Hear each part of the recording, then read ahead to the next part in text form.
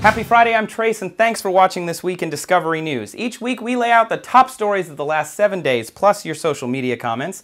And this week we're talking about Mary Jane, pot, grass, dope, taima, bakalambak, fuma de Angola, ganj. Trace! Did I say ganj? I don't remember. We're also talking about crazy antimatter engines and horror movies and how they affect your brain. Let's get to the stories. Your brain on horror movies. What is your favorite horror movie? Mine are all science fiction related, and as we'll probably never come to a consensus, let's just settle that Silence of the Lambs is a darn good horror movie. Uh, hello, Clarice. You probably remember that scene where Jodie Foster gets the lights turned out on her and Buffalo Bill starts reaching out for her in the dark, right? It turns out that there is a good reason why you probably remember that creepy scene, and that's because your brain was likely at its peak engagement during that time. A study done by the City College of New York and Columbia University said that our brains peak during specific scenes in horror movies. Tense scenes present prime conditions for peak brain activity. What's a tense scene? I'm glad you asked. A tense scene contains two of the following three conditions. Ominous, Ominous music, music, powerful, powerful visual, visual cues, cues, and, and meaningful, meaningful scene changes. Hello? What? The call's coming from inside the house! Researchers have not quite figured out where in the brain this occurs or why or how, but they do know that it's there, just biding its time. Read more about your brain on horror movies at discoverynews.com slash brain on horror.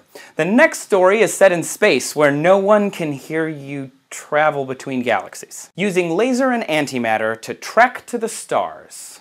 Traveling to another star is a great topic, but how are we going to get there? There really are no propulsion systems that currently exist that can get us all the way to another galaxy in the lifespan of the passengers involved. One method involves using antimatter, and no, antimatter is not a political action group against matter.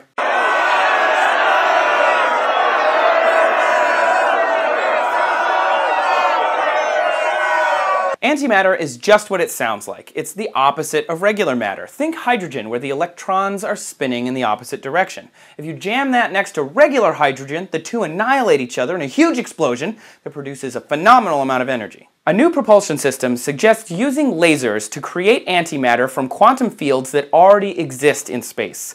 Just bear with me now. The antimatter would propel the ship to relativistic speeds, that is, a significant fraction of the speed of light.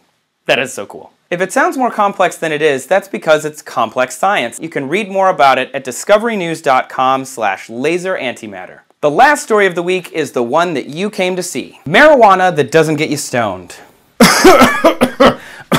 it would uh, seem that a government-approved plantation in northern Israel has grown a strain of marijuana or cannabis that doesn't seem to get you high. The idea is to use this new strain for medical marijuana. It may seem kind of silly, but if you understand the science, it makes more sense. So first you need to understand a little bit about the cannabis plant itself.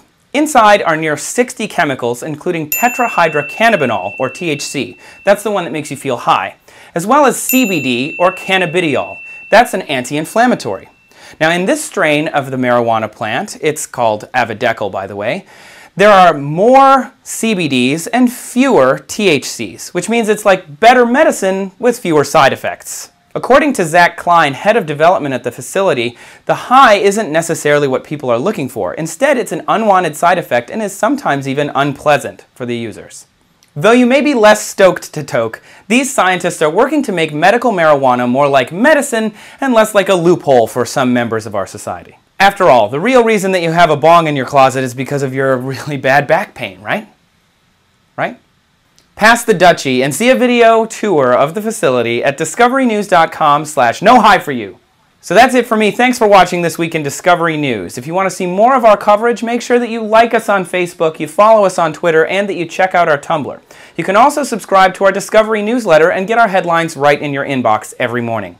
Keep commenting and tweeting on our stories. I read them all. And have a great week. We'll see you next Friday.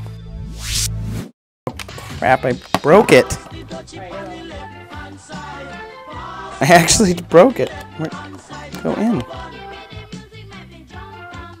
New propulsion system suggests things that are happening. No, I was just about to go take a shower. No, I think I missed some stuff. Tetrahydrocannabinol and cannabini.